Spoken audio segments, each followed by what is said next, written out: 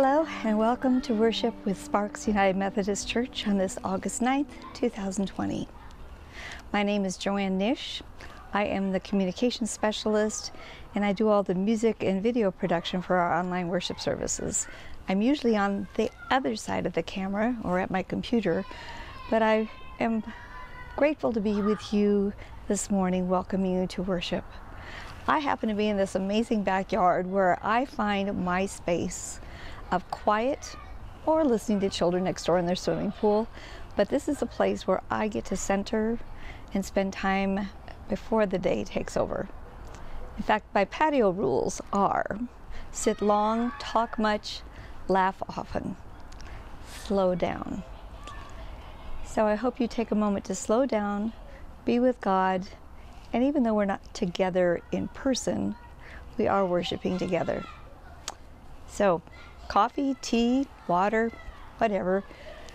Sit back and enjoy the worship service and be present with God. God bless you. Hi, I'm Alexis, and today I will be reading Hebrews chapter 13, verse 5. Keep your lives free from the love of money, and be content with what you have, for he has said, I will never leave you or forsake you.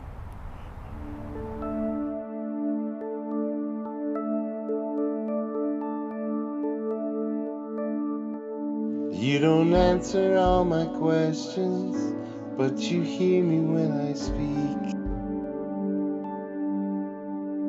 You don't keep my heart from breaking. When it does, you weep with me. You're so close that I can feel you when I've lost the words to pray. And though my eyes have never seen you, I've seen enough to say. First off, let's thank Alexis. Um, she's been a value member of this congregation from food pantries to Wendy's Cafe to the youth group to lighting our candles in the morning. She left for college, and we just want her to go and to know that we love her and we wish her the very best. Secondly, I am Jeff Smith. I'm not the pastor of this church, nor am I a lay speaker, but I'm a member of this congregation who came to Lee one, one fine day and said, I've got an idea for a sermon series for you. I want you to pick a song, and then I want you to preach on it. Because then the two are going to come together in such a way that every time you hear this song, you are going to know, oh, yeah, that message. He says, Jeff, I can't tell you how great of an idea that is. When are you going to do it? And I, well, that would be today. Here we are. I want to apologize again for the way that that song just ended. It's rather abrupt, and there's more to come. You have to wait. It's coming. But this is how it is. The scriptures, Hebrews 13 5. In the beginning of that scripture, he talks about the love of money. You know, I'm going to replace money with pride or with self indulgence or with anything. But the second part of that verse is what I want to concentrate on. And that is this be content with such things that you have. For he himself has said, I will never leave you nor forsake you. I was having a moment where I was on my way to work, I was sitting in the truck, two months into the COVID thing, and I was angry at God. And that's not unusual for me. We have a unique relationship, God and I. I am that two year old little child in the cereal aisle whose mom won't buy him the Cookie Crisp cereal. I'm stomping my feet and ranting and raving and carrying on in a way that only a spoiled little brat child would but God loves me anyway. um, I had had enough of not being able to see my friends, not being able to see all of you sitting in this church, to walk up and give you a hug or put my arm around you and ask, How are you doing? I miss all of you very much, and I hope you know that. And as I was venting at God out loud in my truck, I decided, you know what? I think I'm really going to listen here. Let's just see if God's going to answer me. Because I've heard so many people talk about how God will answer your prayers, but you have to be still long enough to hear them. And I usually don't. I usually go, Lord, fix this. I need you to fix this. Okay, go, fix this. But this time I sat back and I kept my mouth shut and I listened. I was listening to the message on K-LOVE or on, on satellite radio when this song comes on. There was four, and I challenge you to listen to these four songs in the order in which I listened to them because the message that it had for me was unbelievable. It took me from this spoiled brat little child to a man who was almost in tears, and you'll understand. Here it is. The very first song was by TobyMac. The song was called Move. And of that, I'm sure you've heard it. It's been all over the radio. It's, an, it's kind of a slightly older song for him, but the point that I heard, the line that stuck out to me is move, keep walking. Soldier, keep moving on. Now, he says a lot in that song about other things, but that, that line struck me because here I was stuck in my own thoughts, in my own disappointments, in my own self pity, if you will. And I thought, you know what? That's coincidence. There's no way that that song has anything to do with what I'm thinking or what I'm feeling. The second song came on without almost no interaction with a DJ. The second song was by the Sidewalk Prophets. And the title of the song is Smile. The line that I got there was Happiness is wonderful, but it doesn't stick around. You're walking along on sunshine, and here come the clouds. There's always a reason to choose joy. Find the joy in everything and smile. Wow. I wasn't smiling that morning. I was mad.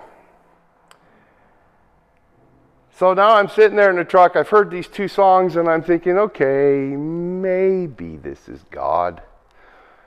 Maybe He's trying to tell me something. Scars is the third song by I Am They. Now, the first part of the song, he talks a lot about his own scars and how through his scars and the healing that comes through that, it gives us tools and it gives us the power and the wisdom to be able to help somebody else through a similar situation. Everything we go through, we go through for a reason. Remember where this started. COVID. I was mad at God about COVID. Well, we're going to make it through this. And when we do, we are going to have the tools to be able to help somebody else through something else. But the most important line of that song is I am thankful for your scars.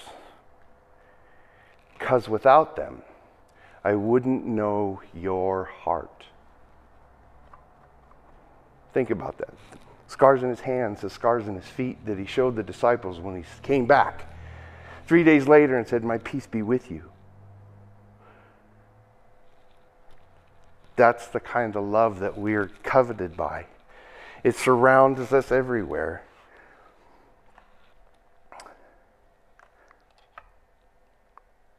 And the fourth song, here you go.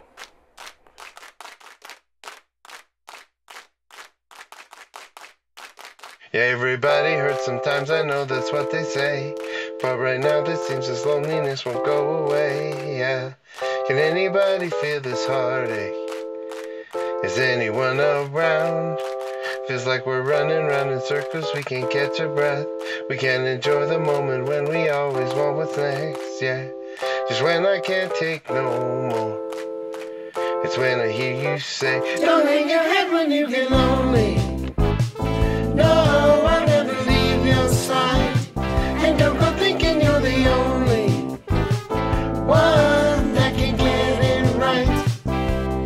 Yeah, you got my love, love, love, love down in your soul. Yeah, you got my love, love, love, and I won't let you go. I know there's nowhere I can run, there's nowhere I can hide from the one who gave his life so I could get back mine. Yeah. So when you can't take no more, look up and hear him say, Don't hang your head when you get lonely. No,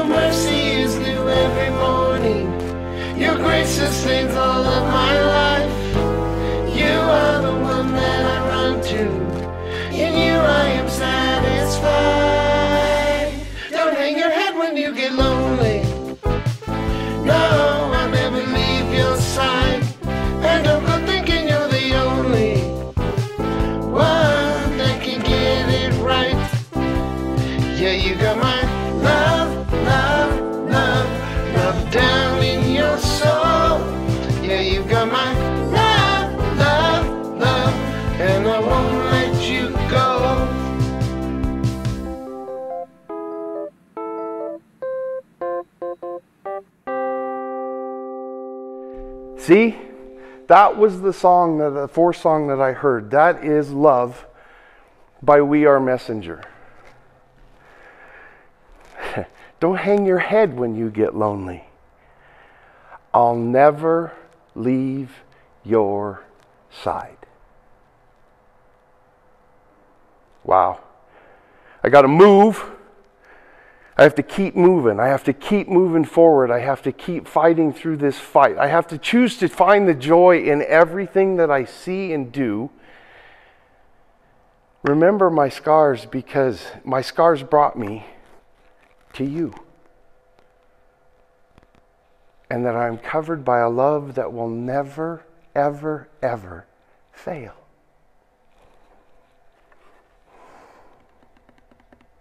That is an incredible thing. We titled the sermon series Really. Or this sermon series, this sermon itself, Really. Because can you see yourself asking that question when you hear that first song? really?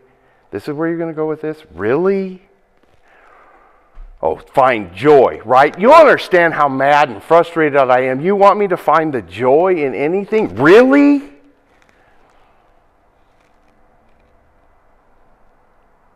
I'm thankful for your scars because without them, I wouldn't know your heart. Really. I will never leave your side. Wow. Really. Hi, my name is Cindy Evans, and I'll be leading us in prayer today.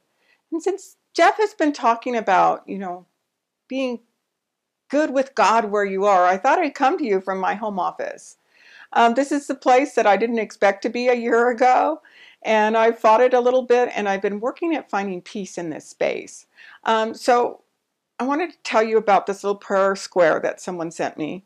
Um, it was from Melody Hanson, and it came with a nice little note, and I keep it on my desk to remind me when things get a little frustrating to turn to God. And today I'm going to add a candle. You know, they have these newfangled things that have a candle in there. So, will you pray with me? Loving God, author of all we know, we thank you for this day. We thank you for all that we've been giving. Help us to count our blessings. And we turn to those who might not know you. We ask that your love may prevail in their lives. And we pray for those who are sick, hurting, broken.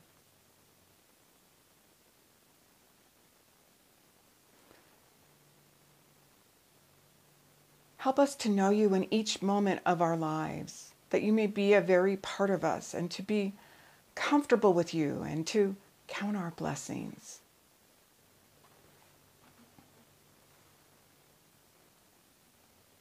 No matter how strong the storm, how threatening the waves, Jesus calls us to trust in his love and mercy and rejoice in his goodness and rely on his power in all things. As we pray, in his name the prayer that he taught us Our Father, who art in heaven, hallowed be thy name. Thy kingdom come, thy will be done, on earth as it is in heaven. Give us this day our daily bread, and forgive us our trespasses, as we forgive those who trespass against us. And lead us not into temptation, but deliver us from evil. For thine is the kingdom, and the power, and the glory forever. Amen. So, if you guys remember this song ended weird. I said, Don't worry about it, we'll finish it. It'll make sense in a minute. That ended, and though my eyes have never seen you, I've seen enough to say, I know that you are good. I know that you are good. I know that you are kind. I know that you are so much more than what I leave behind. I know that I am loved. I know Cause even in the fire to live is Christ, to die is gain. I know that you are good.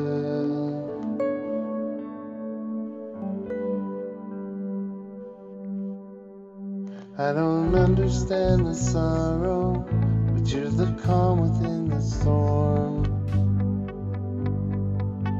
Sometimes this weight is overwhelming, but I don't carry it alone. You're still close when I can't feel you. I don't have to be afraid. And though my eyes have never seen you, I've seen enough to say. I know that you are good. I know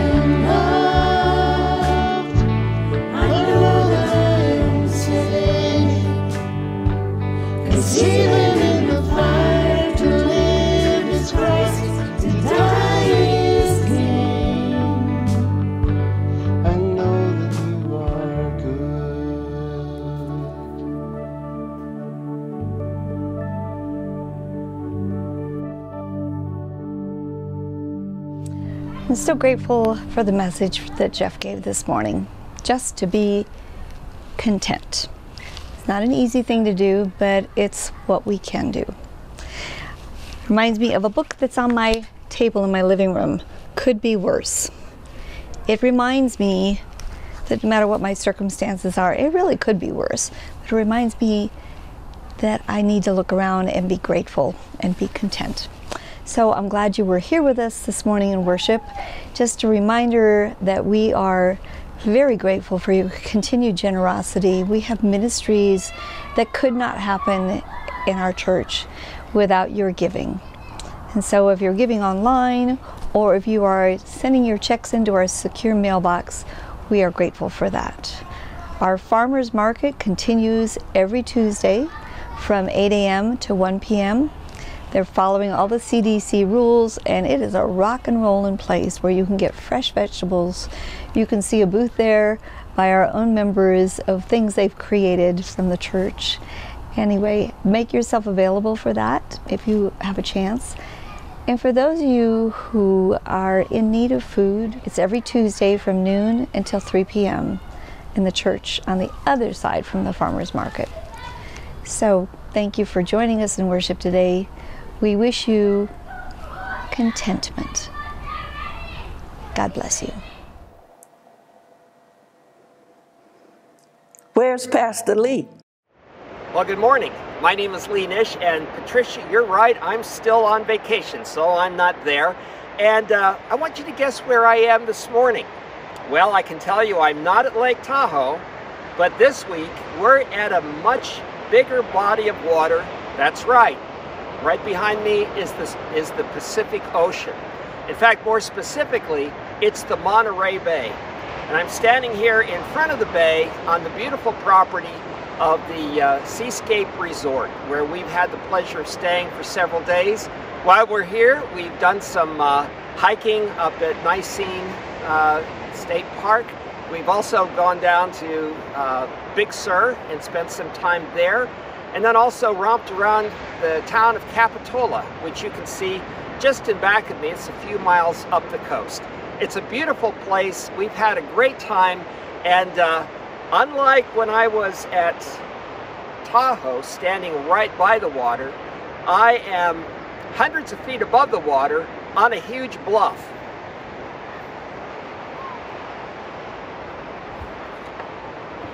So the water can't touch me here.